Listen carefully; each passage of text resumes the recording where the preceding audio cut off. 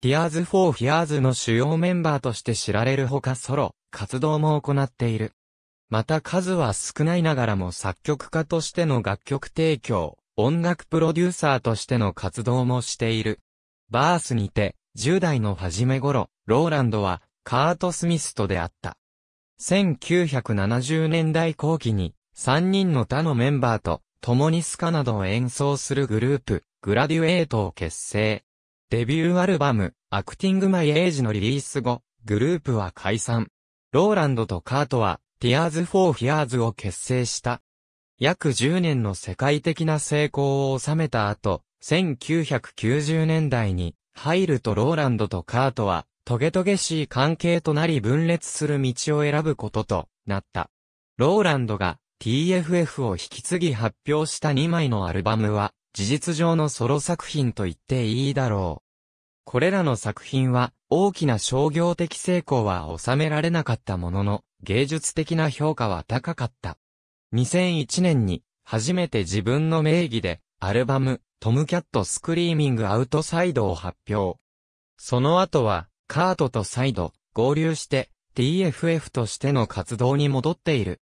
なお、1991年には、DJ フロックのプロデュースによる、ジョニー・パニックザ・バイブル・オブ・ドリームズ名義の同名シングルを発表している。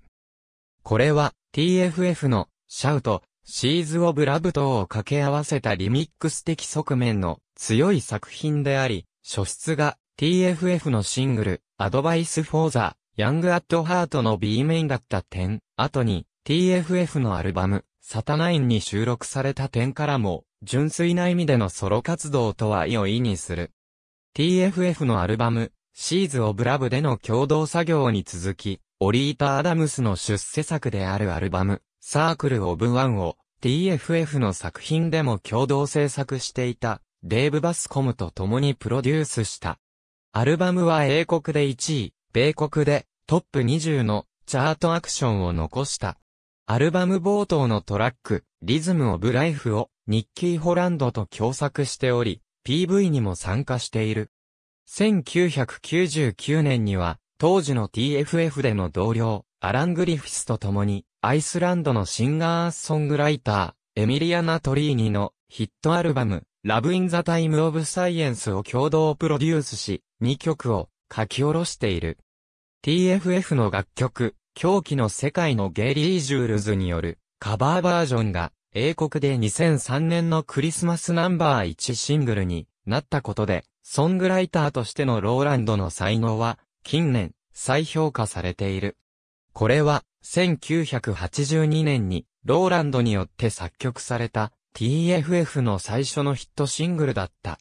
他のミュージシャンの作品への楽曲書き下ろしや演奏参加は数少ないものの TFF のツアーメンバーであったニッキー・ホランド、ゲール・アン・ドーシー、マイケル・ウェインライトのアルバムなどに名を連ねている。1986年には、当時の TFF での同僚であった、イアン・スタンリー主導のプロジェクトマンクラブのメンバーとして、シングル、フィッシュ・フォー・ライフを発表している。この曲は、映画、ベストキッド2のサントラのために作られたものだ。2014年、セックス、ドラッグスオペラという小説を発表した。半ばリタイア気味の中年ポップスターを主人公としたロマンティックコメディ。リアリティショー、ポップスター2オペラスターへの参加を持ちかけられた主人公にとって、それは自らの経歴と衰えつつある結婚生活を取り戻す方法となるのか？という物語になっている。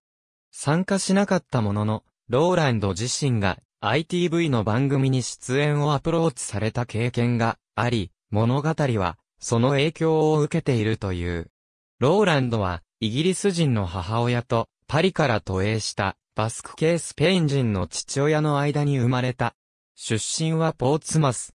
もともとは生後2週間でラウールと命名されたが、彼らが英国に住むにあたり、名前を英国風にするためにローランドと変えたのだという。1982年、ローランドは、キャロラインという妻を迎え、ラウールとパスカルという二人の子供を授かっている。1985年、TFF 人気が最高潮に達した頃、ローランドは彼の父親との張り詰めた関係のため、プレスの注目を集めた。英国のタブロイド紙、ザ・サンは、この関係をユーモラスな漫画で風刺した。その漫画は後に TFF のシングル、I Believe のカバーにアートワークとして使用されている。音楽と心理学の他にも、ローランドは、写真、政治、社会学、先生術に関心を持っている。ありがとうございます。